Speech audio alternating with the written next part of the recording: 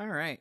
Welcome back to the placeholder simulation demonstration with placeholder assets. This is a placeholder of my polishing disc thingy um, with metal. The metal is blue. When it is polished, it will be red. I'm able to turn on my little spinny device or polishing device by using the trigger. When I release, it will stop. It plays an electrical hum while it is spinning. When it is collided and spinning, you can have those particle effects show up as well as my bell chime sound effect. Okay, so as long as these are colliding, that will show up. And when it is fully polished, it will turn red.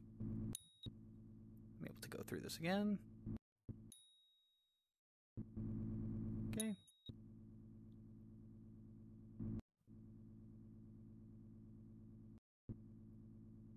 Well done. Please tell us how you feel about your experience with metal polishing. All right. And thus completes my demonstration of the placeholder assets.